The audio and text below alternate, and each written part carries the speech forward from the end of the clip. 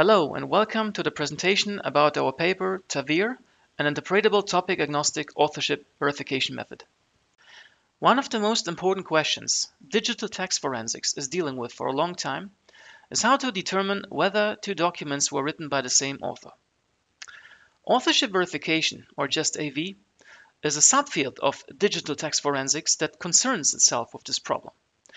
AV can be used for a wide range of applications, such as continuous authentication, exposing malicious emails, ghostwriting, or in general, plagiarism detection, authentication of historical writings, and many, many more. With the increasing number of research activities in the field of AV, a variety of approaches have been proposed so far to solve the AV problem. These are, for example, a number of papers published in the recent years. However, a large number of these and other existing AV approaches are relying on features in the documents that are not always related to the writing style. Many existing AV methods, for example, make use of implicitly defined features, in particular character n-grams. Character n-grams are overlapping strings, which are obtained by sliding a window of n characters over a document from the left to the right, at least in an English document. But there is an issue with character n-grams.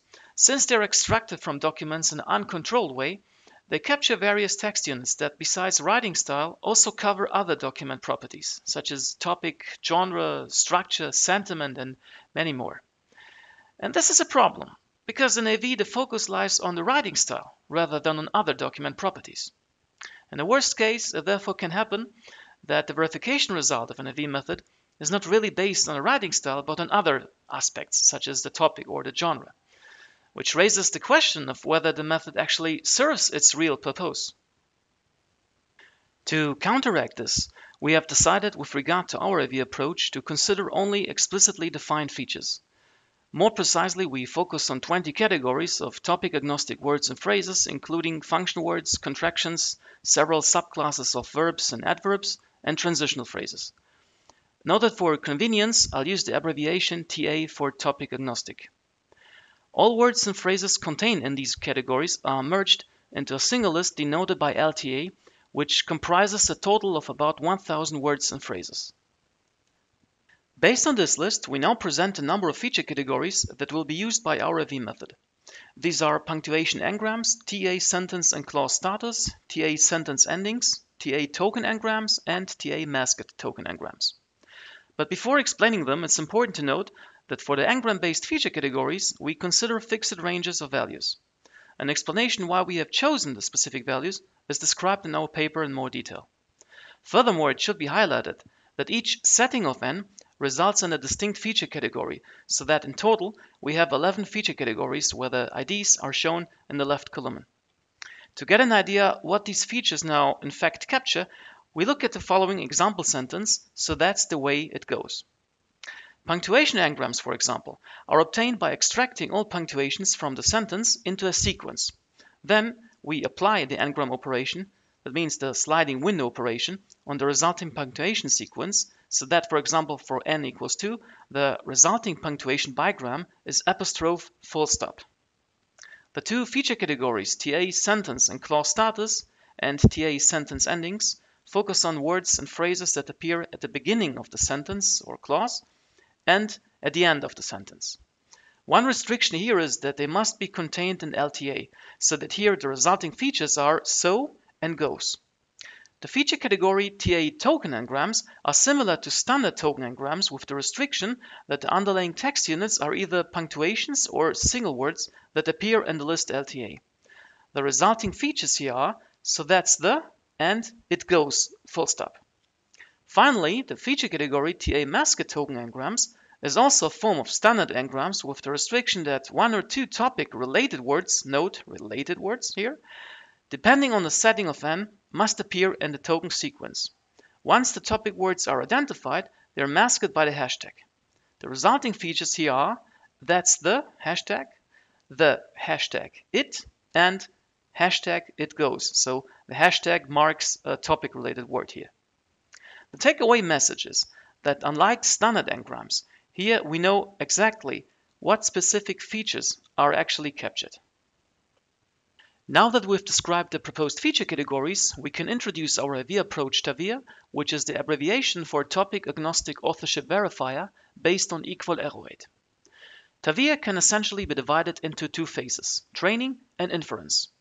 In the training phase, we must provide TAVeer a training corpus which comprises n verification cases labeled as yes and no, where yes denotes the same authorship and n a different authorship case.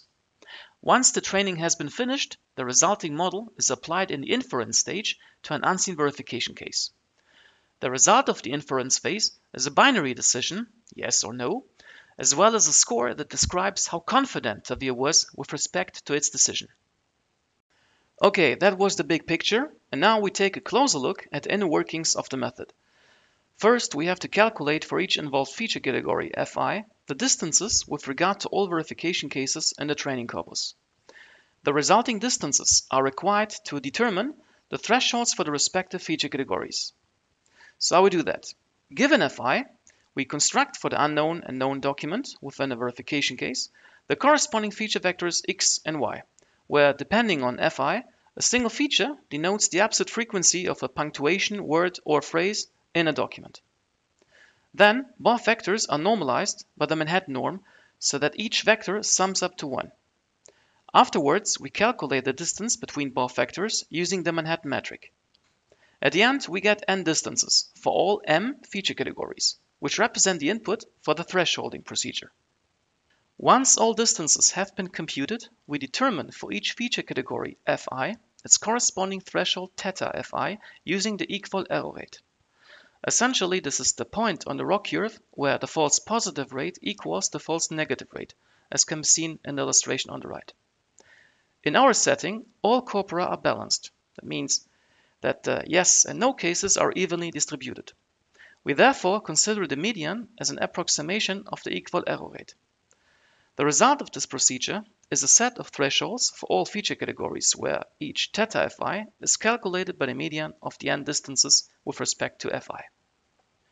In order to construct a model, we further need a similarity function that will help us to estimate the quality of the generated ensembles in the next step. The function must satisfy two requirements transforming the distances into values between 0 and 1, and calibrating them in such a way that 0.5 represents the decision boundary. For the intended purpose, we designed a simple piecewise function, which is defined below and illustrated on the right. The function takes three arguments. d, the distance, d max, the upper bound of the distance function. So for the Manhattan metric, that would be 2, which can be shown easily and theta f the threshold for the considered feature category f. Note that any other suitable similarity function can be used instead, as long as both requirements are met. In the next step, the ensembles, in other words combinations of feature categories and thresholds, must be constructed. For this, a set f theta is created, which comprises tuples of feature categories and associated thresholds. Given f theta, we compute the power set to generate all possible ensembles. However, here the empty set is discarded as obviously an empty ensemble would make much sense. Note that within the power set we distinguish between ensembles and atomic ensembles, where the latter is just a set with only one tuple. Since now we are dealing with ensembles and not with single feature categories, we need an aggregated similarity function, which we denote by sim epsilon, to take ensembles into account. Sim epsilon takes as an input the unknown and known document, d max, so the upper bound of the distance function, and the respective ensemble. And based on these, the function first computes for each feature category and its associated threshold the respective similarity score given the similarity function introduced in the previous slide. Finally, sim epsilon determines the median for the similarity scores computed for all feature categories, so that at the end we get a single aggregated similarity value. To find the optimal ensemble from all generated ensembles in the power set, we need a ranking mechanism. For this, we define a classification function that will be also used in the inference phase. The function receives the same arguments as sim epsilon and predicts yes, that means same author, if the aggregated similarity value exceeds the decision boundary 0.5. Otherwise, the function predicts no, that means different author. Given this function, we classify all verification cases in the training corpus and calculate the respective accuracy. This procedure is then performed for each possible ensemble in the power set.